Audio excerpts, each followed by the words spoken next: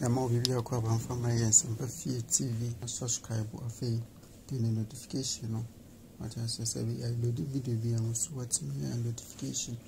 Na anɔpɛ yi a yɛ piece of fm dankwaku yɛbu a ɔne moret ayɛ interview bi a kyerɛ sɛ ɛyɛ christian atwo blaster player christian atwo still na wɔnya hu ne kyerɛ kwan ɔmo gu so ɛrehwehwɛ no. According to report no ɔmo kɔ hospitals ahodoɔ a ɛwɔ ɛtɛkima mu but ɔmo ahu anaa ɔmo anya report biara sɛ ɔwɔ saa hospital hɔ nti mpanyinfoɔ egu so ɛrehwehwɛ no but up to now deɛ atwo yɛnya hu baabi pɔte a ɔwɔ.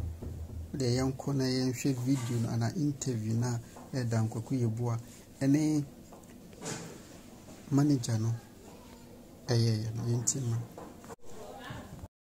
Murat, good morning. Good morning. Can you hear me? Yes, I can hear you. How are you? Actually, we are not good. You know, yesterday we talked with you and uh, we shared the club's official explanation about uh, Christian Atsu. Vice President told all media and all world media said he was rescued and at hospital.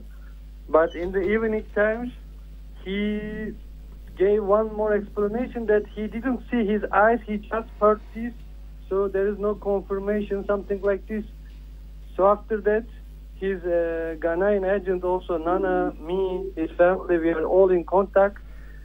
We started to research hospitals everywhere. We still couldn't take any information, so we are still waiting. Of course, we hope he is at hospital or something like this, but there is no confirmation, so we need to follow official things, I want to say. Okay? So it's not clear yet. You mean after the news was confirmed to you that our brother Achu has been rescued and taken to hospital, since yesterday there hasn't been any update as to whether he's responding to treatment and which particular hospital he was sent to? No, there is not any hospital name. It is the point, actually. And the vice president said um, he heard he was at hospital. He didn't see, so he can't give 100% confirmation about it. And you know, I'm in Turkey, and he's our friend. I checked all hospital. I gave his name, his passport. I did everything. There is still no news about him.